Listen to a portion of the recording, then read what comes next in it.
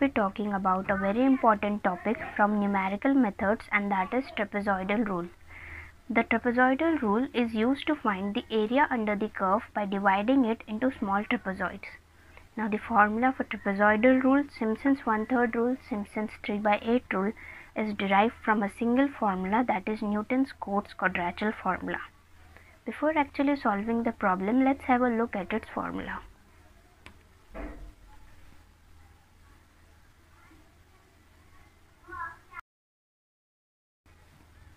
For any function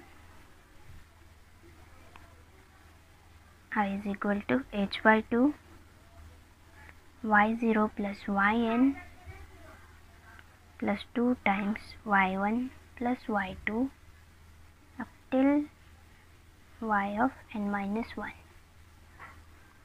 Here h is the difference that we get to see in the reading. y0 and yn are the extreme coordinates and here we have the remaining coordinates.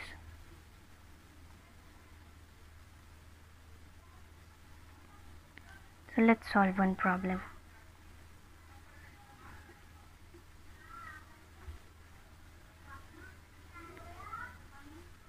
the number of intervals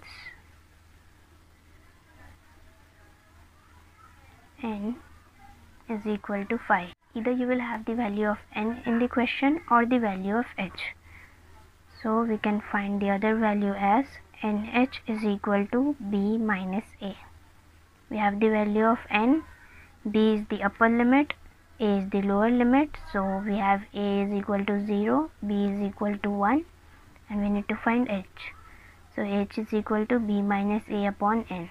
That is equal to 1 minus 0 upon 5 and that is equal to 0.2 so h is equal to 0.2 from the questions itself we can see that my readings will start from 0 and it will end on 1 and it will have the difference of 0.2 so the values of x and y can be written as starting from 0 and having the interval of 0.2 so 0 then 0.2 then 0.4 then 0.6 0.8 and 1 you can also do this as 0 plus 0.2 that is 0.2 then 0.2 plus 0.2 is 0.4 0.4 plus 0.2 that is 0.6 and so on. And now we are held with the responsibility of finding y.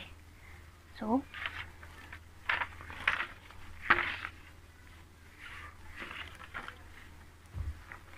y is equal to 0 to 1 x cube dx we have x as 0, 0 0.2, 0 0.4, 0 0.6, 0 0.8 and 1. So substitute 0 to 1 of 0 cube dx. So we'll get the value 0. Then y is equal to 0 to 1 of 0 0.2 cube dx. The value will be 0 0.008.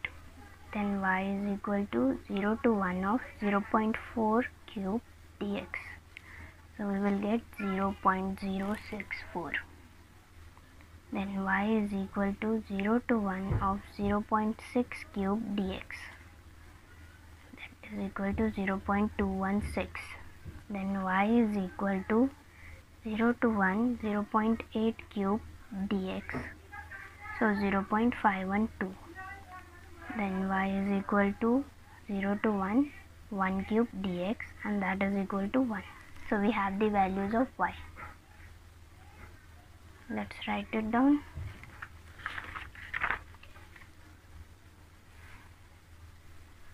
Zero, 0 0.064 0.216 0.512 and 1 this will be my y0 y1 y2 y3 y4 and y5 or you can write this as yn now substitute this in the formula.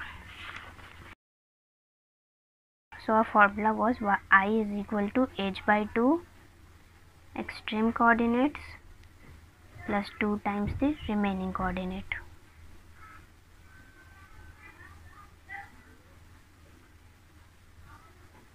the difference h was 0.2 upon 2 y0 y1 y2 y3 y4 and yn so y0 plus yn these two readings. So 0 plus 1 then 1 2 3 and 4 readings. So 2 times of 0 0.08 plus 0 0.064 plus 0 0.216 plus 0 0.512 okay? Calculate this we will get 0 0.1 into 1 plus 1.6 so i is equal to 0 0.26 in this way we have solved the equation. Now this whole thing can be done very easily by analytical method